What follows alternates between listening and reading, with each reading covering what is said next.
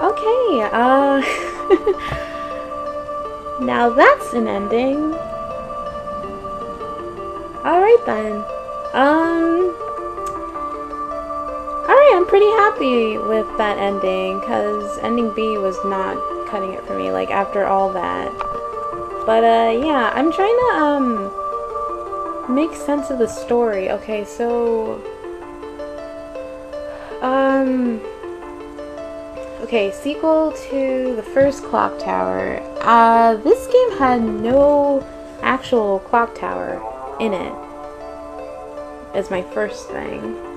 Second one is that, okay, so then, if I remember correctly, from the first game, uh, there were like two twin boys that were like evil, Bobby and Dan.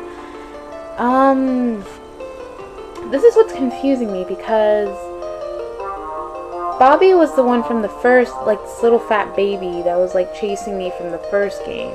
That was Bobby.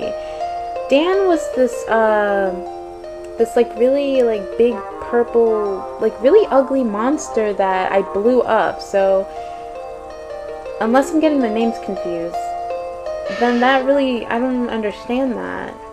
Like, how did he live? Then again, I don't know how, um, how Dan managed to live after I pushed him off a cliff like five times. But, uh, so basically this game, the story of this game was to get revenge on Jennifer for killing um, his brother and mother, I suppose. I think that's the basic. Which is, uh, not very, not very complicated, just, you know, straightforward revenge plot thing. uh, that's all I could really get out of this. Uh, it was, for a point and click game, it was pretty, it was pretty decent. Um,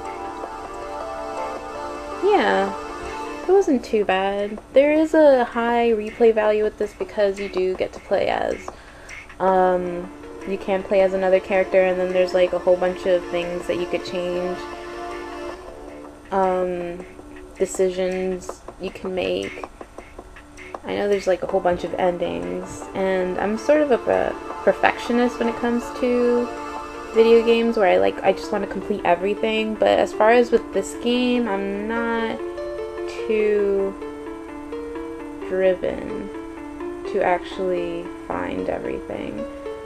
So, maybe when I'm bored, I'll do that, but I'm pretty fine. I'm pretty fine as it is right now. So, uh, yeah. Thanks for, um, watching my first Let's Play of Clock Tower for the PS1, and this was Blind. And I hope you enjoyed it. It wasn't that bad of a game. Um, I'm not sure when this ends. Uh, I could ramble on and on. Uh, I'm not sure if I'm gonna do another Let's Play. Some games I was looking at was uh, Alone in the Dark for the PS1. I think it's called Alone in the Dark: The New Nightmare. And that looks pretty interesting. I've never, I don't even know anything about Alone in the Dark, so that's gonna, that would be pretty blind. I wouldn't mind giving that a shot. I was also looking at uh, some Resident Evil games I could do, but like the old school ones, like uh, Resident Evil 2 or 3. I might do those too. I think I'll have a little, a little more fun with those.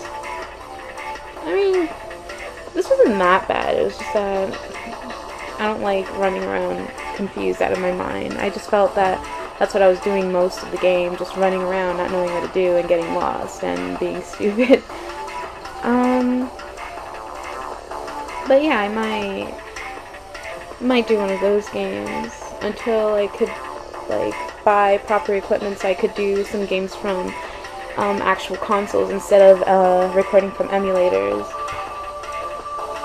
Yeah. I'm still uh, trying to see what's the best equipment to buy for those. So, yeah. Um, I think that's all I could really say.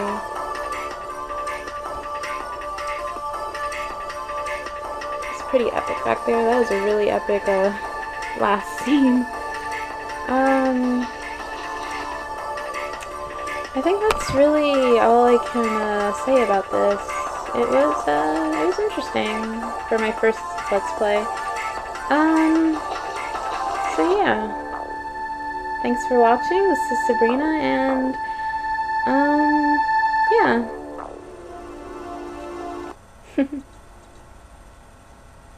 uh, only five. Well, it's better than four. I think I think I'm cool with that. Alright, I think that's really it. So, uh... Can I... Yeah. Okay, so, uh, yeah. Thanks for watching, and, uh... I guess if, uh, you like this one, or want to see any of my other games, I'll probably do Alone in the Dark, or some one of the Resident Evil games for the PS1.